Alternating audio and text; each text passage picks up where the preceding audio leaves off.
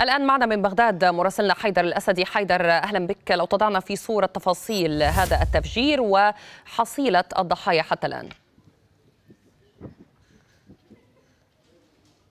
حتى الآن الحصيلة مروج تتحدث عن أربعة قتلى وأكثر من 20 جريح.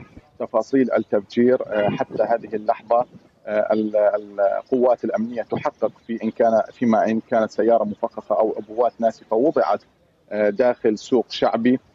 ولكن النيران التي شاهدناها هي تشير إلى أن هناك سيارة مفخخة انفجرت في أحد الأسواق الشعبية في منطقة الحبيبية في أحد ضواحي مدينة الصدر.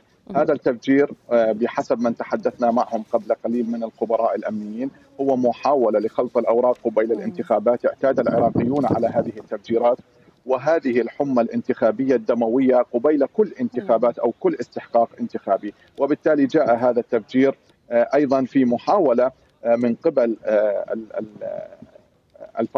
الجماعات الإرهابية لخلط الأوراق في في داخل بغداد والتأثير على الوضع العام بصورة عامة وأيضا وضع الحكومة العراقية الانتخابي في المرحلة المقبلة خصوصا وأن الجميع يرى في خطوات الحكومة العراقية خطوات جيدة باتجاه تصحيح العديد من المسارات وبالتالي جاءت عمليات التفجير هذه للإشارة والإيحاء بأن الوضع الأمني وأن هذه الحكومة هي غير قادرة على الاستمرار في المرحلة المقبلة، ننتظر أن تكون هناك تفاصيل أكثر من قبل الأجهزة الأمنية حول طبيعة هذا التفجير، الجهة المنفذة وفيما إذا كان سيكون هناك إلقاء قبض على المنفذين أو من يقف وراءهم.